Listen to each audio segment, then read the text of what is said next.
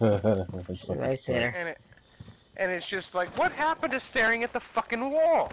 Like, god damn it! Ten minutes before you're gonna do it, Andres. She was fighting with me a second ago.